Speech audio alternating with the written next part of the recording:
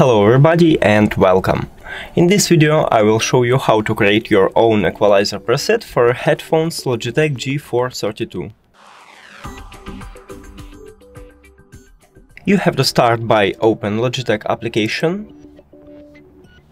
Now choose your device and at the, at, the bottom uh, we have a line create new equalizer preset but if you can't click on it just press um, press the button enable advanced equalizer right here.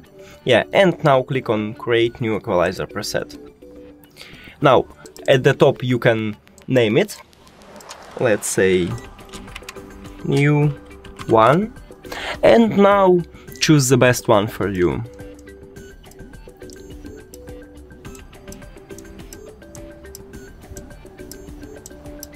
let's say that's okay for me then click on save. And that's it, we just did it. Thank you for watching this video, if you found it helpful please consider subscribing to channel and leave the like on the video, it's really important to us. See you later!